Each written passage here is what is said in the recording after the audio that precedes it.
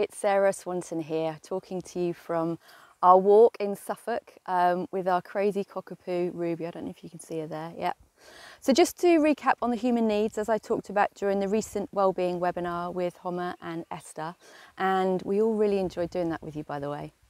So our primal human needs, based on the work of Ivan Tyrrell and Joe Griffin, and it points to the idea that as humans, we all have a universal set of needs that when met in healthy and appropriate ways leads to a more productive, fulfilling, satisfying life. And most importantly, gives us that spare capacity and headspace we all need to uh, navigate the uncertainties and complexities of life. And it's when one or more of our human needs are not being met, um, that's when we really feel it. It tends to show up uh, as stress or overwhelm, worry, or even burnout, which is really your body's way of letting you know um, things are just a little bit off track and need looking at. And there are nine human needs in total. They are giving and receiving attention, looking after our mind and physical body through sleep, rest, exercise, a healthy diet, fresh air, um, having a sense of safety and security, feeling part of a community and making a contribution, uh, being challenged, um, connection and intimacy, which by the way doesn't have to be through a partner or a spouse. It's really um, just having at least one person who loves you for who you are, you know, warts and all.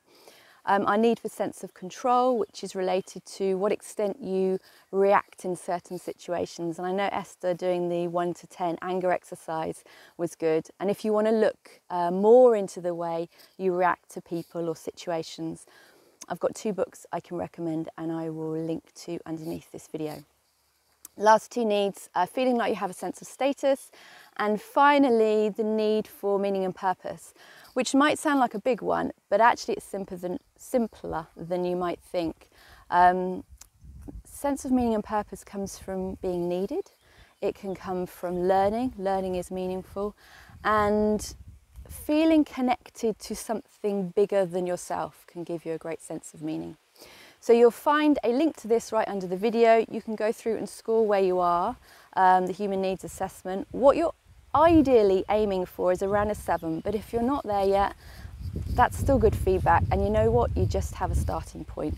Um, I know for a lot of people, if they do score low on any, it's actually a bit of a relief because it explains, well, no wonder I've been feeling like this. Um, and actually, the good news is that it really doesn't take much. It really doesn't take much at all to move the needle on. So, for example, um, give and receive attention might be having a call with one of your oldest buddies that you haven't spoken to for ages. And you'll know this from experience when you've spent an hour laughing, reminiscing, having a good old chat, you come away with your spirit's totally lifted and uh, and you can feel like you've got a whole new perspective on maybe that thing that was really annoying you earlier on.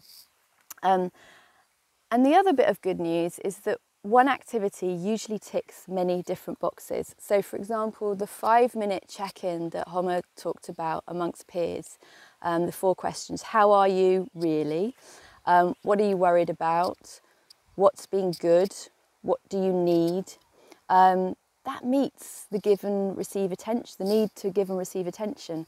Um, it also meets a sense of community and connection. Um, so one activity really can tick many needs. So the main takeaway is number one, a little goes a long way. You do not need to be all or nothing about this. It could be tempting. I've done it myself, particularly if you're the high achiever type, to turn this into a schedule of activities to, to now try and cram into your week. You don't need to do this at all. Um, think of it as the human version of um, an MOT. It's good to check whether you know everything is in balance, but you don't need to do it all the time. Um, and sometimes some little tweaks are needed. And particularly when you're feeling stressed or overwhelmed, that's just a bit of a warning light to let you know to have a little check in. Um, so that's everything I think for now. Yeah, If you're enjoying these conversations around well-being and you want to learn a little bit more, then two things to let you know about. We have a webinar coming up um, in July on resilience, so keep an eye on the website for that.